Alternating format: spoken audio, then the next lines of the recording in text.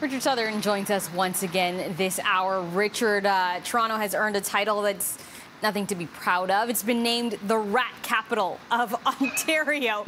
Not really a surprise, but it sounds like the rat population has also been impacted by this pandemic. So this is both uh, equally interesting uh, as it is uh, creepy, Ginella. Okay. But vermin, vermin here in the GTA are staging a major migration.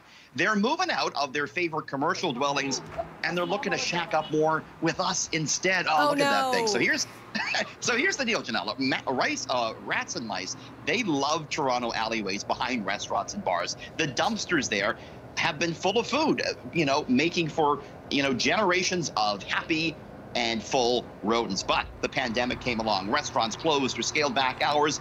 The dumpsters were empty. And so the mice and the rats, they packed their bags and they're looking to our homes instead. I talked to the experts over at Orkin today. They say their phones are ringing off the hook rats and mice they need food water and shelter.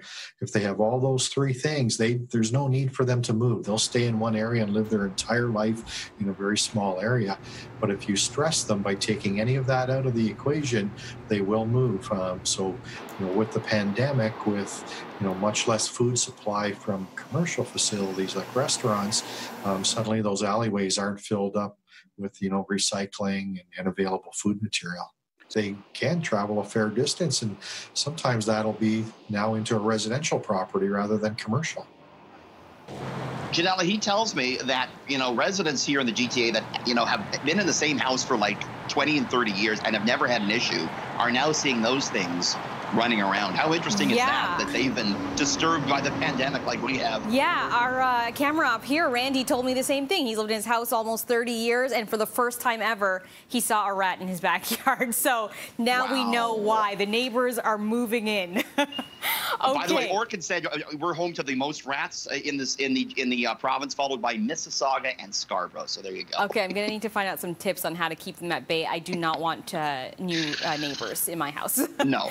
Okay, a giant new sculpture unveiled in downtown Toronto, and some are calling it a bit of a head scratcher.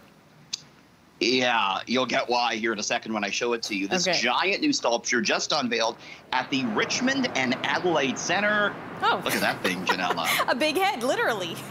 it's a big Wait. head, but here's the thing. It looks different depending on where you're yeah. standing. So our city news camera shot it here from different angles to give you a sense of how this this head changes depending on where you are. Uh, this was, by the way, commissioned by Oxford Properties that owns the buildings there. It was created by uh, Spanish sculptor, uh, sculptor Jaume uh, Plensa, who has done similar works around the world almost as big as my gigantic head. well, you I, like that? You like? Is that a good thing? Would you like that? I want to know whose Sculpt head that is and how, who decided that he was worthy of a giant sculpture. Why not a giant uh, Richard Southern uh, head sculpture? I'd like uh, to see that. Nobody knows. Nobody knows. Uh, nobody needs to see that, Ginella. you think the financial district is empty now? Would you be even worse with that around there? All right, Richard. Thanks so much. We'll see you tomorrow.